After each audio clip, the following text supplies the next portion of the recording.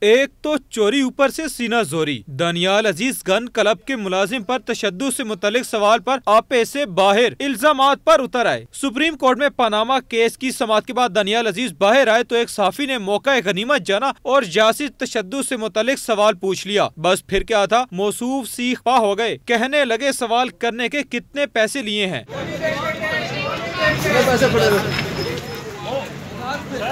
بے تکا جواب دینے پر جب صحافیوں نے احتجاج کیا تو عقل ٹھکانے آئی اور مذکورہ صحافی سے معذرت کی۔ غالباً ان کو یہ محسوس ہوا کہ میں نے ان کے اوپر کوئی الزام لگایا ہے پیسوں کے حوالے سے۔ میں صرف آپ سے یہ عرض کرنا چاہتا ہوں یہاں سے جاتے ہوئے ہمارے ساتھ ساری ٹیم تھی، ہم اپنے آپس میں بات کر رہے تھے۔ میرا ان کی طرف کوئی اشارہ نہیں تھا۔ اگر انہوں نے یہ محسوس کیا تو میں ان سے معذرت کرتا ہوں۔